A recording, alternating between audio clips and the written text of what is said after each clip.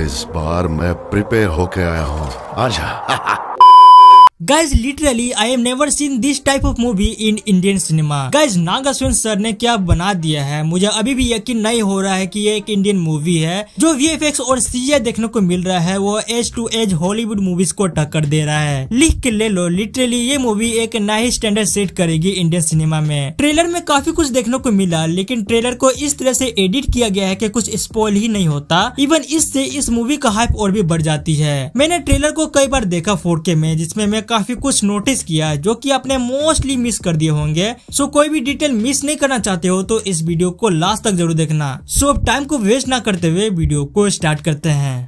तो ट्रेलर में सबसे पहले हम अशोधामा के वही पुराने सोर्स देखने को मिलते हैं, जो हम लोगों ने अशोधामा के इंट्रोडक्शन वीडियो में देखा था। फिर उसके बाद हमें विजंती नेटवर्क का जो लोगो है, वो देखने को मिलता है। वैसे इंटरेस्टिंग और नोटिस करने वाली बात ये है की ये जितनी बार भी हम लोगों ने इनके पुराने लोगों को देखा है, वो असल में ब्लैक एंड व्हाइट में होते हैं, जिन पर कोई कलर नहीं होता है। लेकिन इस बार हमें जो लोगो देखने को मिला है, वो कलर लोगो देखने को मिला है। आगे अशोधमा सुमति से कहते हैं कहते हैं कि भगवान के अंदर पूरी सृष्टि होती है और आपके अंदर तो भगवान है। और आगे जाके हमें ये सोर्स देखने को मिलता है की अशोधामे ने फाइनली सुमति को संभाला में लेके आ चुके हैं राइडर से बचा के जैसे तैसे और यहाँ पे हमें संभाले की वर्ल्ड बिल्डिंग देखने को मिलती है, जो की मुझे पर्सनली देखने में कमाल की लगती है। अगर तुम इस फ्रेम पे ध्यान दोगे तो तुम्हें काफ़ी कुछ देखने को मिलेगा। जैसे पहाड़ों को ऊपर ये जो घर बनाए गए हैं, फिर साथ में यहाँ पे एक टेंपल भी देखने को मिलता है। और अगर तुम इस फ्रेम पे नोटिस करोगे, यानी कि इस सेक्शन पे ध्यान दोगे तो तुम्हें मूर्ति जैसी कलाकृति देखने को मिलेगी। जाएगी पिलर पे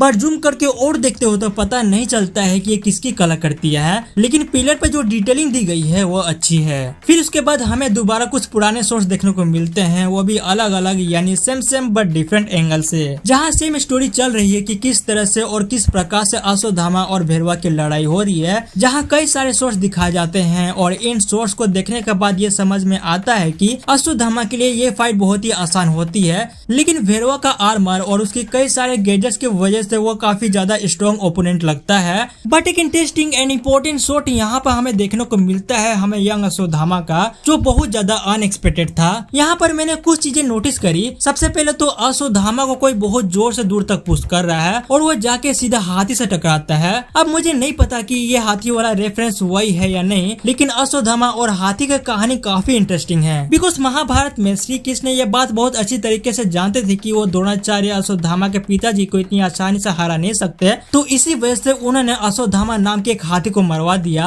और जैसे ही द्रोणाचार्य को युधिष्ठिर के मुँह से आधी कहानी पता चली, उन्होंने पूरी तरह से हथियार डाल दिए और फिर उनको भी हराना बहुत आसान हो गया। वैसे मुझे नहीं पता है की ये वाली रेफरेंस सही हो गई या नहीं बट इस वाले शॉट को अगर ध्यान से नोटिस करते हो तो यहाँ पे अशोधामा पे अटैक करने वाला कौन है, ये भी आपको क्लियर समझ में आ जाएगा। इन्होंने सफ़ेद रंग के कपड़े पहने हुए हैं। वेल जहाँ तक मुझे लगता है कि ये भीम हो सकता है जो कि श्योर नहीं हूँ बट लगता तो है। क्योंकि उत्तरा के पेट में अश्वधामा जब ब्रह्मास्त्र चला दिया था, जो कि इस ट्रेलर में उत्तरा के पेट पर ब्रह्मास्त्र चलता हुआ दिखता भी है श्री कृष्ण ने तो बचा तो लिया था बट पांडव क्रोधित हो गए थे एंड मे भी यहाँ पांडव में से कोई हो सकता है। आगे हमें एक औसम शॉट देखने को मिलता है, जिससे मैं बहुत ज़्यादा इम्प्रेस हुआ, और वो शॉट है कमल हसन का एक है सुप्रीम यास्किन का।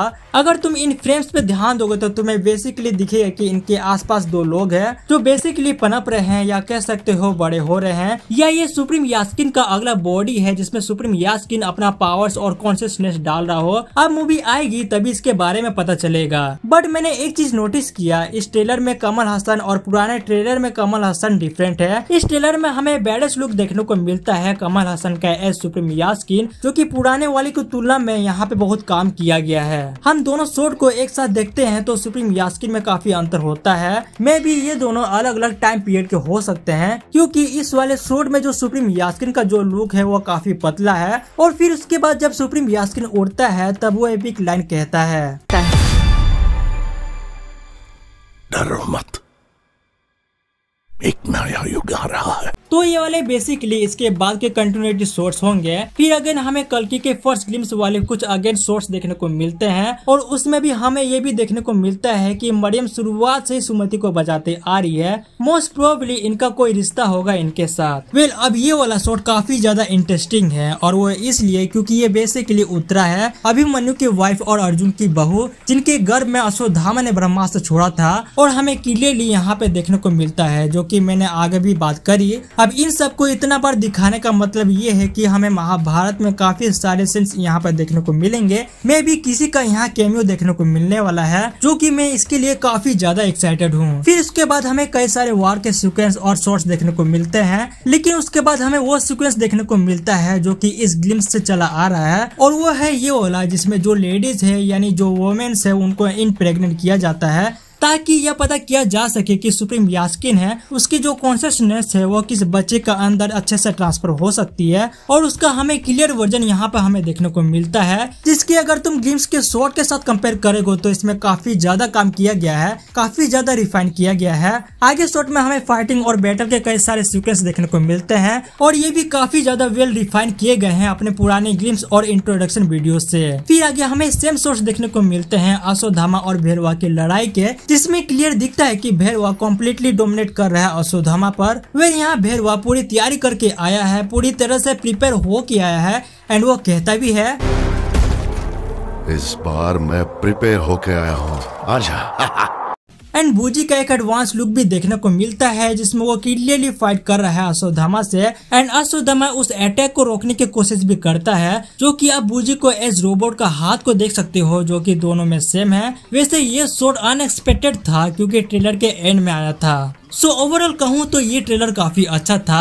इंडियन सिनेमा में कुछ नया और एक नया स्टैंडर्ड सेट करने जा रहा है ये मूवी वैसे ट्रेलर आपको कैसा लगा मुझे कमेंट करके ज़रूर बताना। बाकी ऐसे मोर वीडियोस के लिए चैनल को सब्सक्राइब कर लो। सो फिर मिलते हैं किसी एक और नई वीडियो में। बाय